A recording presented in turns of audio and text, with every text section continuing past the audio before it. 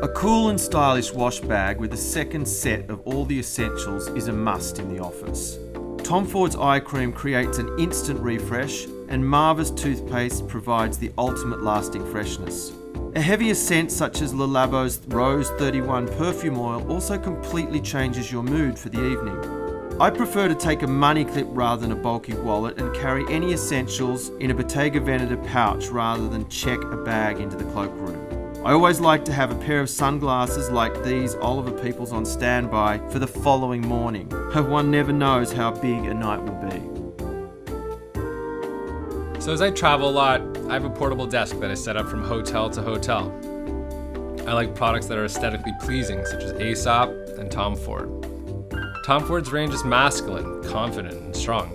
I love the minimalist designs of Uniform Wares watches and their versatility that can be worn with a t-shirt and jeans or black tie. I carry a Thom Browne card holder. It's just sleeker in my pocket than a wallet.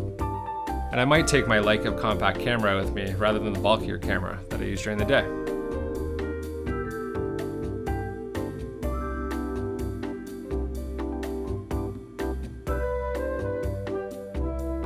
So, my evening attire is usually dark and a little bit louche, but a pocket square is a symbol to the world that you're an elegant gentleman. By day, I wear clear lenses, but for the evening, I borrow a tip from the ever stylish, if not slightly nefarious, Aristotle Onassis, and I wear smoked lenses, which add a touch of mystery. To tame my incredibly unruly hair, I use a Dr. Harris boar bristle brush. Odin's Black Musk fragrance is subtle and sophisticated, and to me, it signals the distinction between day and night.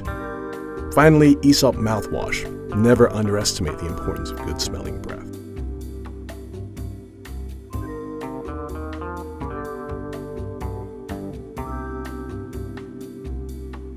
I like to change up my fragrances for variation and keep a selection of Byredo colognes in my top drawer. Otherwise, I stick to a uniform of a smart suit, which I'll wear with a plain Sunspel t shirt and a pocket square. I always have my Cutler and Gross tortoise shell glasses in my inside pocket I wear a Breitling Navitimer, which is the same watch my dad wore when I was a kid, and I carry my Montblanc pen at all times. It was a present from my girlfriend that she engraved my nickname, which I cannot reveal. During the week, my wife and I sometimes go to a few events, so I like to be fashionably dressed. I mostly wear a suit, tie, and a pocket square, which I can easily remove if I feel overdressed. In the fall, I may wear a scarf, so I don't have to wear a coat and put it in the cloakroom. Back home in Germany, Montblanc pens are often given on special occasions, and I always carry mine with me every day.